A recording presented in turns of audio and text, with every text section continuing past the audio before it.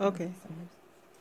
Now that you've completed your lesson and you clearly understand the importance of technology in the classroom and in the real world, I'd like to ask a question.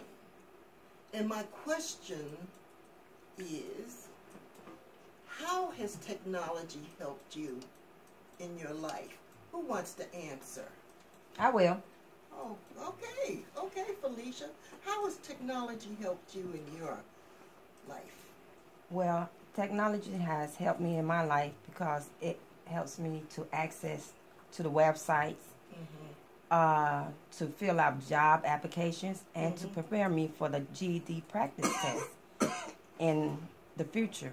And it has been a wonderful experience because Miss Walls came in and taught us a lot, a lot about the uh, computers and how to keyboard and everything. So, far as me, my experience, it was a wonderful thing to do, and uh, I look forward to getting a job in the future. And uh, it was great. School. Are you saying that you can take the skills that you learn inside the school outside of the school and they're useful to you? Yes, yes, yes.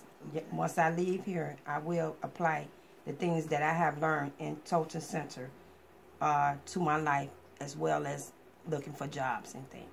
Well, thank you, Felicia. I really appreciate your comments. You're welcome.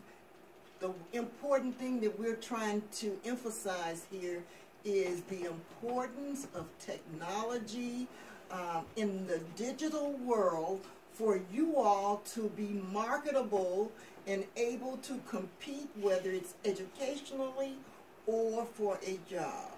Okay. I thank you. You're welcome. That was good. Type it up. You gotta do the whole Okay. All you do is put GED